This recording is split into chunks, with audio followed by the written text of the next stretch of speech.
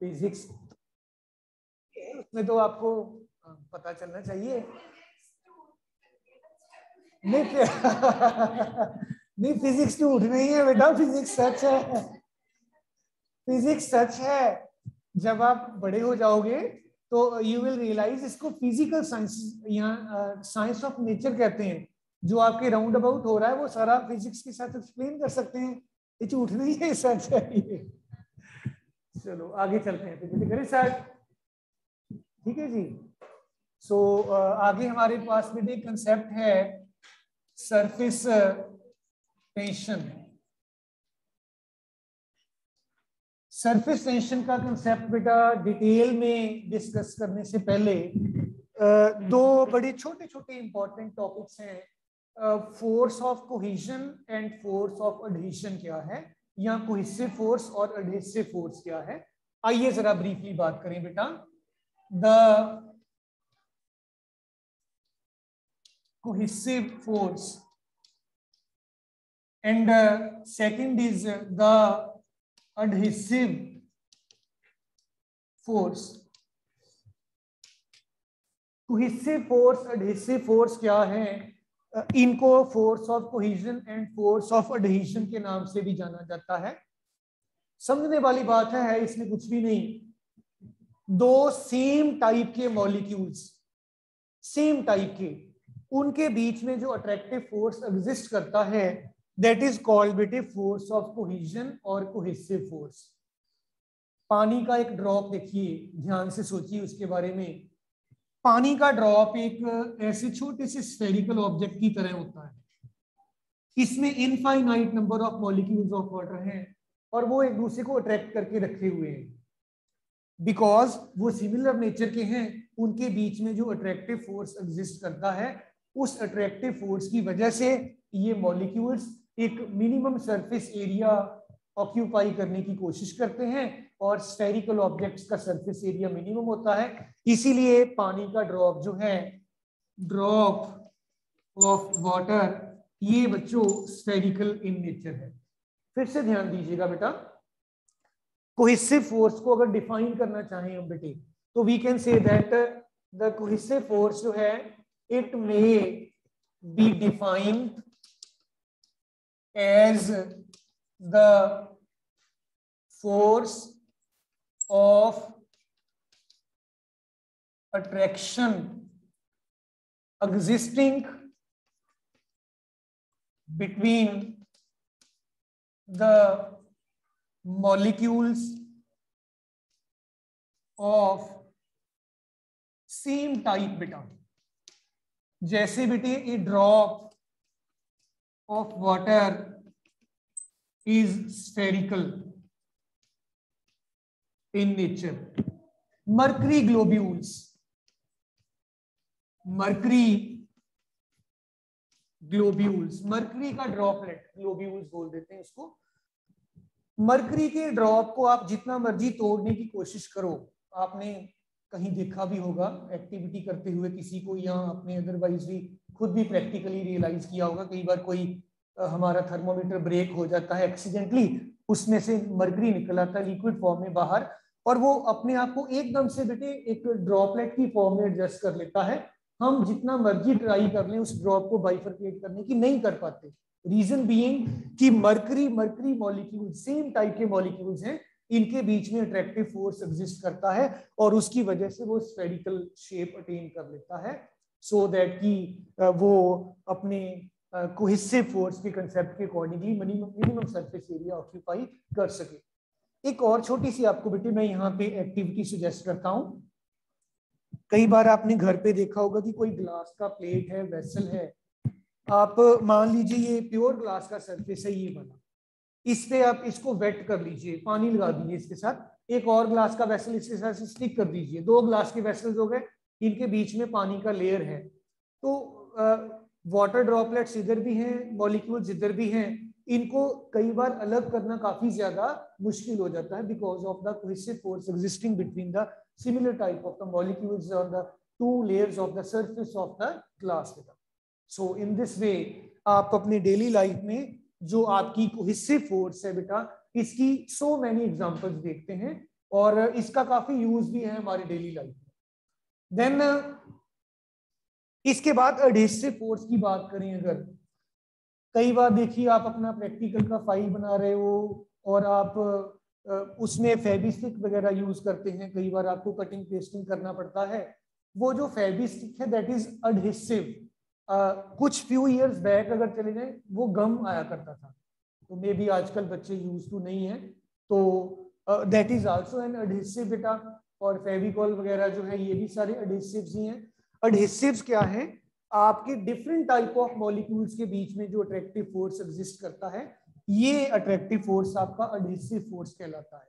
आपने अपनी नोटबुक पर थोड़ा सा वो फेबिस्टिक अटैच किया, उसके ऊपर आपने एक और पेपर अटैच कर दिया, वो दोनों स्टिक कर जाते हैं। तो that is because of this adhesive force existing between the different type of the molecules so adhesive force की बेटे अगर हम बात करें तो डियर चिल्ड्रन अडहेसिव फोर्स जो है it may be defined as the attractive force existing between the molecules of different type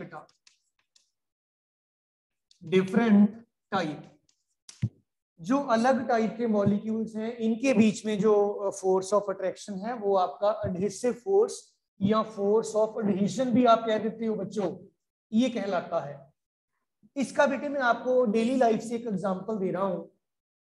कई बार आप ग्लास टम्बलर की बात करें ग्लास जो सिंपल हम घर पे यूज़ करते हैं ग्लास का बना हुआ, आप उसको अगर पानी के साथ बेटे वॉश करके छोड़ दो तो कई बार इसके बेटे इंटीरियर में या बाहर बाहर कहीं पानी की ड्रॉपलेट्स जो है वो स्टिक की रहती हैं। आपने नोटिस किया होगा ये? तो दिस इज़ बिकॉज़ पानी के मॉलिक्यूल्स वाटर के जो हैं, इनका नेचर अलग है। ये ग्लास का मॉलिक्यूल है। इनके बीच में ये डिफरेंट टाइप ऑफ़ मॉलिक्यूल्स हो गए। एक अट्रैक्टिव फोर्स एग्जिस्ट करता है और ये आपका जो है फोर्स ऑफ़ एडिशन या एडिसिव फोर्स की वजह से होता है। अब थोड़ा सा और आपको ब्रॉडली बता दूँ। आपके जो सॉलिड्स हैं, जितने भी आप अपनी राउंड अबाउट सॉलिड्स देखते हो, इनका एक डेफिनेट शेप है साइज़ है वॉल्यूम है। This is because of the large cohesive force existing between their molecules और अगर बात करें लिक्विड की तो लिक्विड में कोहिसिव फोर्सेस का मैग्नीट्यूड थोड़ा सा कम हो जाता है। इसलिए उनका डेफिनेट शेप नहीं है। जिस भी वेसल में हम डालते हैं, वो वो शेप अपनी अटेन कर लेता है। और तीसरी बात बेटे गैस की है। तो गैस के मॉलिक्यूल्स में जो फोर्स ऑफ़ कोहिजन है, वो स्टिल और कम हो जाता है। तो गैस का ना कोई शेप है, ना साइज़ है, ना वॉल्यूम है, आप जिस भी पर्टिकुलर वेसल में डाल दोगे, वो अकॉर्डिंगली एडजस्ट कर ले तो ये बातें बड़ी छोटी छोटी हैं, लेकिन इनकी एप्लीकेशंस बहुत हैं। इनको एक बार आपने बुक से भी ध्यान से पढ़ना है। राइट इसके बाद बेटे मेरा डायरेक्टली सरफेस टेंशन का कंसेप्ट आ जाता है। आइए इसके बारे में बात करें बेटा। सरफेस टेंशन क्या चीज़ है बेटे? सरफेस टेंशन जैसे नाम से ही थोड़ा सा हमें अंदाज़ा हो जाता है। सरफेस की टेंशन टेंशन फोर्स वाली है और बायो वाली नहीं। कोई भी लिक्विड की सरफेस पर एक फोर्स बेटे जो है, वो लगा रहता है, जो फोर्स उस सरफेस को मिनिमम सरफेस एरिया ऑक्यूपाई करने के लिए रिस्पॉन्सिबल होता है। और वही फोर्स जो है बेटा, आपका सरफेस टेंशन का फोर्स कहलाता है। लिक्विड की सरफेस ले लो आप। आप आपने कभी नोटिस भी किया होगा कि अगर कुछ टाइम तक कोई लिक्विड पर्टिकुलर लिक्विड में नाम किसी का नहीं लेना चाहूँगा, पड़ा रहे, उसके ऊपर से कई बार स्मॉल इंसेक्ट क्रॉल करके भी चले जाते हैं। वो डूबते नहीं है। दैट इज़ बिकॉज़ आपके लिक्विड की सरफेस पर एक स्ट्रेच्ड मेम्ब्रेन बन जाती है because of this surface tension और वो मेम्ब्रेन के ऊपर से क्रॉल करके निकल जाती है। और इन दिस वे बेटा सरफेस टेंशन आपका दो मेन चीज़ों की रिस्पॉन्सिबल है। एक तो आपकी लिक्विड की surface minimum surface area occupy करने की कोशिश करेगी, और दूसरा, वो एक स्ट्रेच्ड मेम्ब्रेन की तरह बिहेव करती है। तो वो फोर्स जो आपके लिक्विड को ये दोनों प्रॉपर्टीज़ पोजेस करने के लिए रिस्पॉन्सिबल है. दैट इज़ बेटा surface tension so we can say that बेटे सरफेस टेंशन जो है it is defined as the force by virtue of which a liquid surface behaves like a stretched membrane and tries to attain minimum surface area तो बेटे surface area minimum attain करने के लिए जो आपकी surface में फोर्सेस एक्ट कर रही हैं, इनको आप फोर्स ऑफ़ सरफेस टेंशन कह सकते हैं। एक छोटी सी और बात आपको बताऊँ, अगर आप इसका मेज़रमेंट करना चाहें इमेजिन कर लीजिए ये आपके पास एक बीकर है, और इस बीकर में आपने बेटा पानी जो है ये फिल कर रखा है। दिस इज़ द बीकर इसमें आपने पानी फिल किया, ये this is the water present in the beaker और इस पानी की सरफेस पर आप एक इमेजिनरी लाइन ड्रॉ कर लीजिए। This is the imaginary line वैसे तो हम लाइन बना नहीं सकते पानी की सरफेस पर, बेटा। ये इमेजिनरी लाइन है, इसका लेंथ एल कह दीजिए। इस लाइन पर बेटे जो है, ये इस तरीके से फोर्स एक्ट करेगा। तो ये जो फोर्स पर यूनिट लेंथ है, इसको आप बेटे अगर कैलकुलेट कर लोगे तो ये आपको सरफेस टेंशन दे देगा।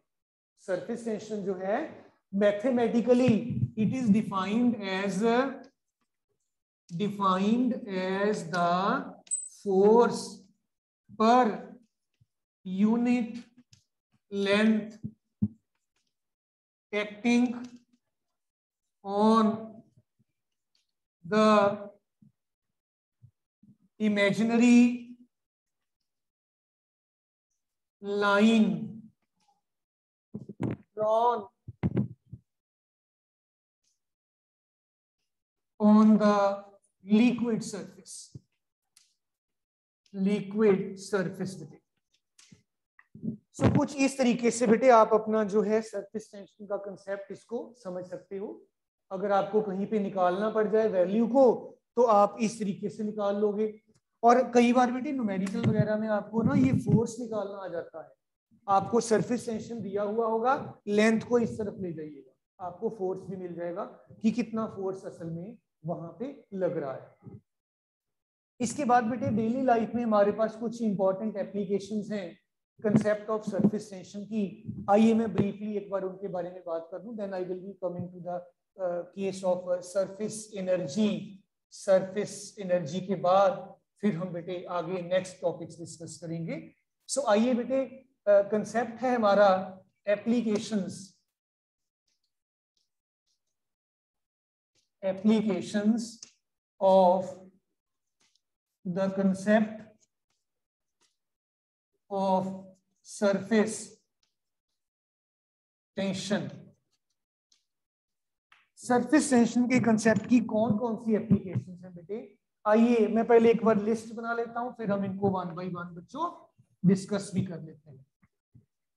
पहली बात तो यही है बेटा कि आप, जो लेड बॉल्स हैं स्फेरिकल होती हैं। लेड बॉल्स स्फेरिकल क्यों होती हैं? वाटर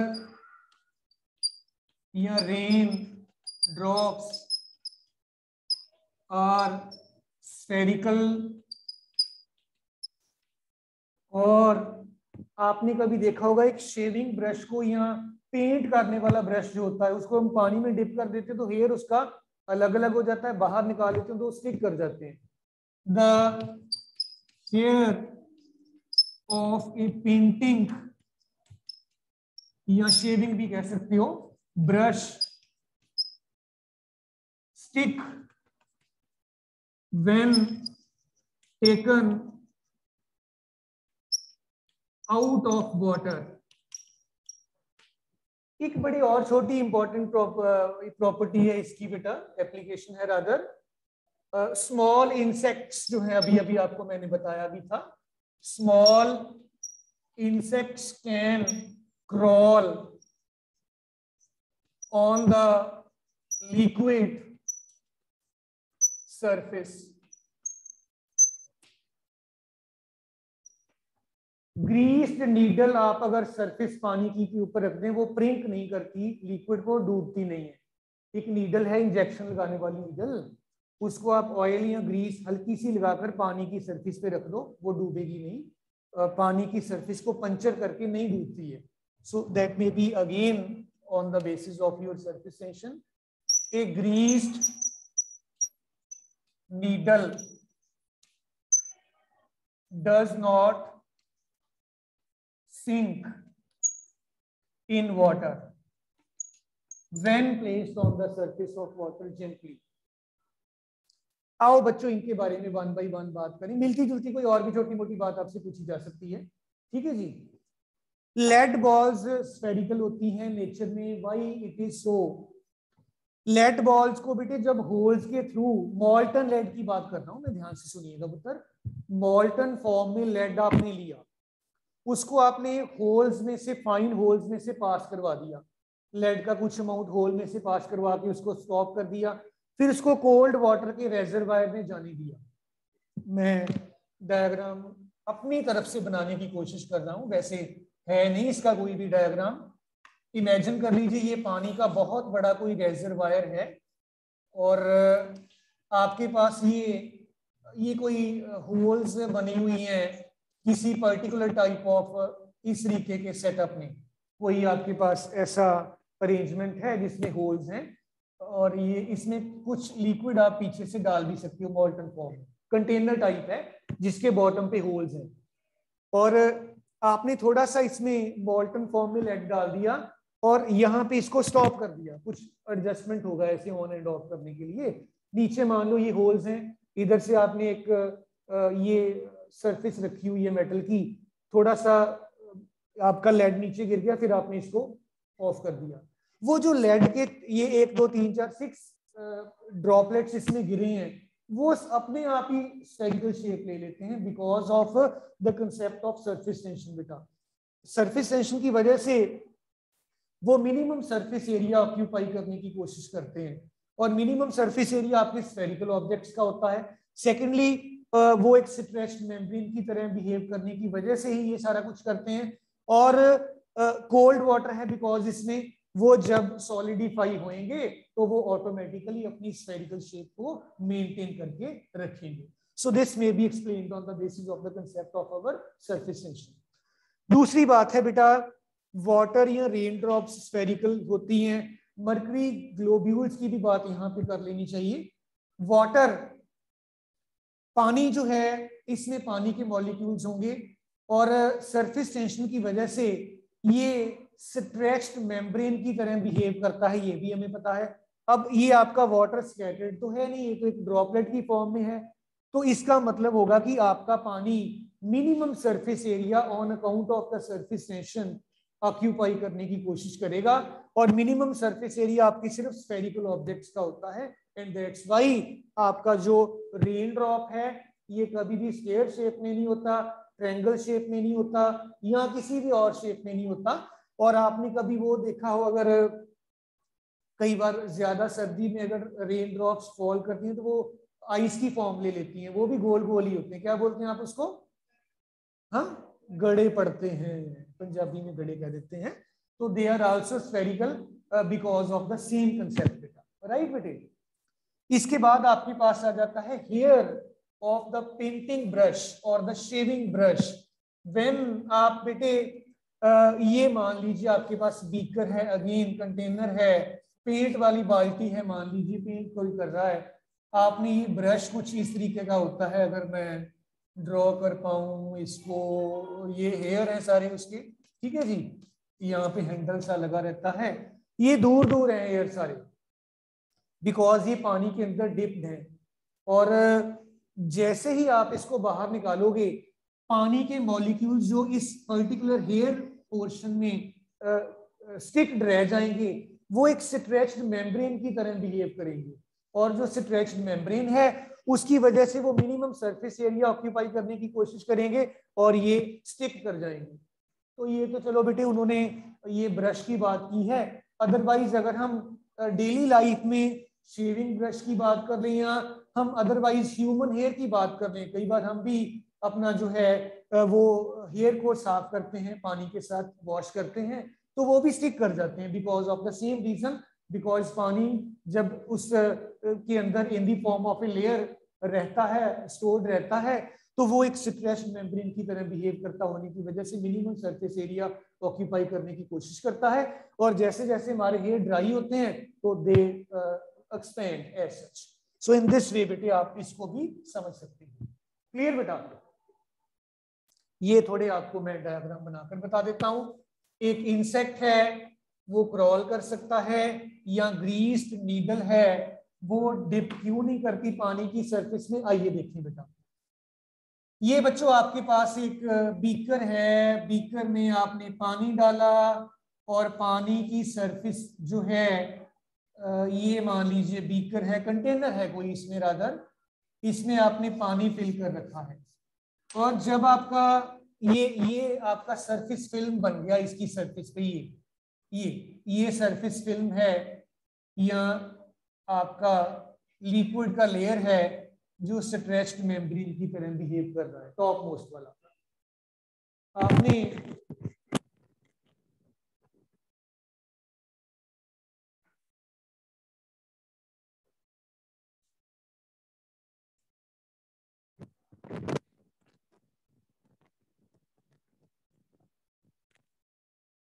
तो डियर चिल्ड्रन जब आप इसके ऊपर एक ग्रीस नीडल प्लेस करोगे इमेजिन कर लीजिए ये नीडल है बेटा, ये वाला।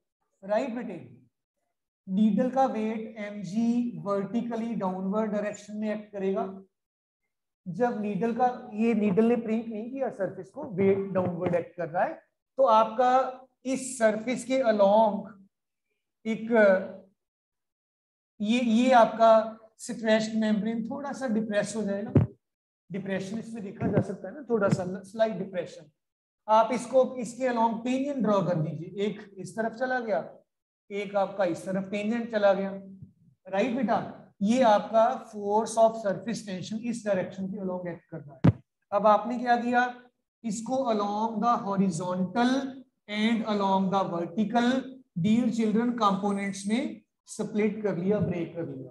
आपका ये एंगल अगर एंगल थीटा हो जाएगा तो it will be T cos theta it will be T sine theta it will be T cos theta and it will be T sine theta अगर आप एंगल थीटा इधर ले लोगे तो कंपोनेंट बदल जाएँगे। दैट हार्डली मैटर्स अगर आप थीटा वर्टिकल के साथ ले लोगे तो वो आपके रिज़ल्ट को अफेक्ट नहीं करेगा।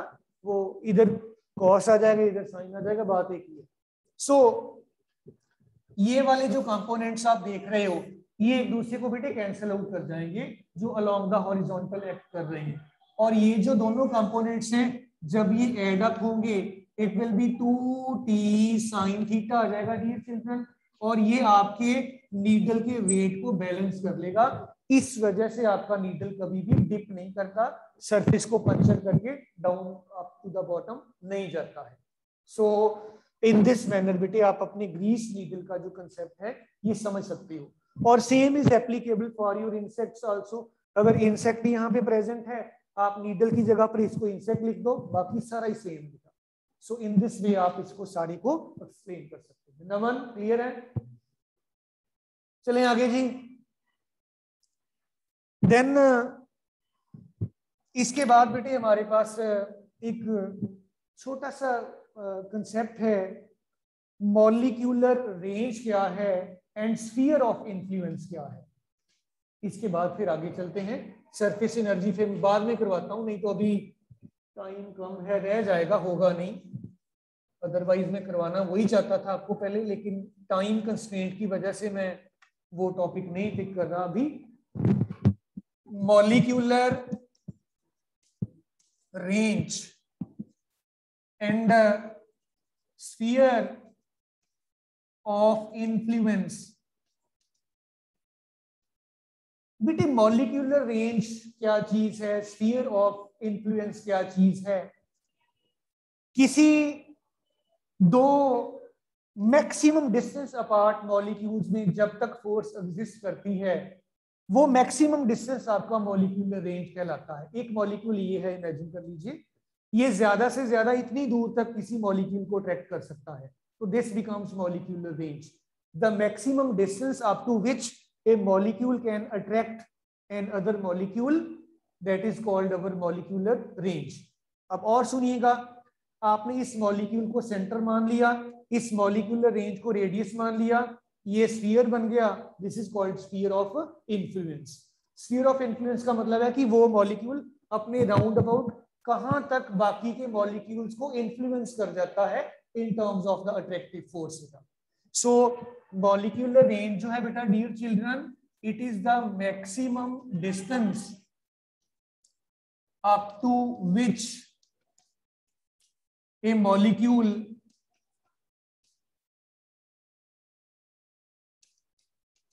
exhibits attractive force for other molecules. It is beta of the order of 10 raised per minus 9 meters.